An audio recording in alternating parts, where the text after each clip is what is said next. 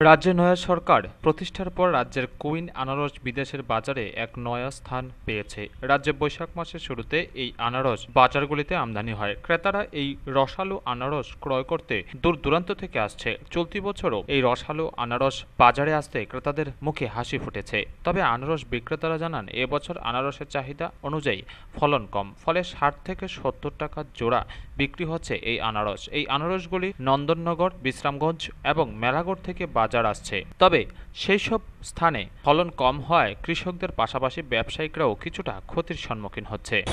এখন তো নতুন করে আনারসটা আইছে চাহিদাটা একটু কম হয়। আর বাজারটা একটু ইয়ে হয়।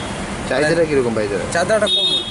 রেটটা কীরকম রয়েছে রেট তো চল্লিশ পঁয়ত্রিশ তিরিশ এমন চলছে ওখানে আনারস এগুলো এটা মেলা করে না আনারসের উৎপাদনটা কীরকম হচ্ছে এবার?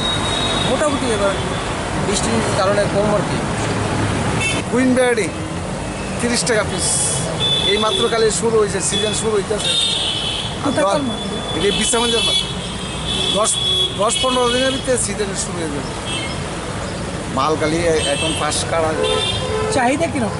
চাহিদা আছে আর চাহিদা মাল কালা বেছে না দেখে কাস্টমার একটু নাই তো মাল চাহিদা দিন লোক কুইন মারালে তো চাহিদা বেশি।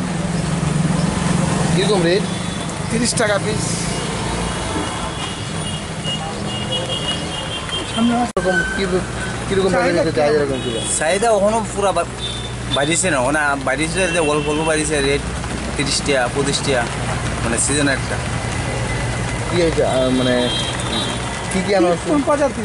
এটা হচ্ছে ইয়ে কুন্ডা কোন আনারস কোথাকার এটা হচ্ছে আপনার নন্দনগরে। নন্দনা এবছর কি বাইরে মাল বাইরে যাইব কি না এবার কিছু কই দিতাম না গতবার গেছে। বাইরে যাইতেও পারে নাও যাইতে পারে। ওখানে তো সিজন পুরোপুরি লাগছে না এবং মালের চাহিদাটা একটু কম আছে ওখানে মালও কম হচ্ছে এবং রেট একটু বেশি তিরিশ টাকা চল্লিশ টাকা বিক্রি ব্যস্ত হয় আমাদের।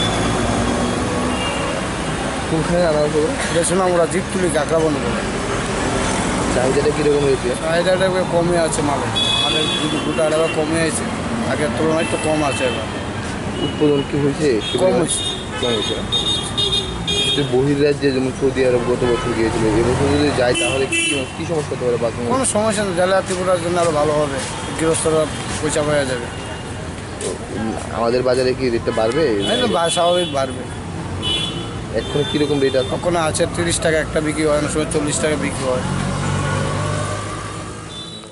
এখন লক্ষণীয় ফলন কম হয়। আনারস চাষিরা বহিরাজ্যে আনারস রপ্তানি করে বিগত বছরের মতো অধিক মুনাফা কামাতে পারবে তো? তবে গরমের রসালো ফল, আনারস রাজ্যের বাজার ছাপিয়ে পাড়ি জমিয়েছে বিদেশের মাটিতেও। এই অবস্থায় রাজ্যের কুইন প্রজাতির আনারস ফের একবার সকলের রসনা তৃপ্তি ঘটাবে তা বলাই বাহুল্য।